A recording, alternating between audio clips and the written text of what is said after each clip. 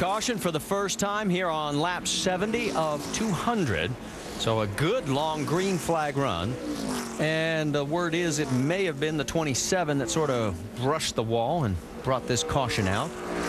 Yeah, they've been sp- stretching this groove up pretty far, but uh, Justin he got a little, little too high up in the middle of three and four. I don't See feel some too damage. bad. It was just a light brush. Yeah, it doesn't look bad. I mean, it looks like they're uh, going to be okay if they get some tires and maybe uh, pull on those fenders a little bit. Well, let's see who this helps because right now Greg Keselowski is the race leader. Remember we talked about Kyle Busch and his speeding penalty? He was in sixth place, 19 seconds down. This just helped him a ton. I'm not sure he needed any.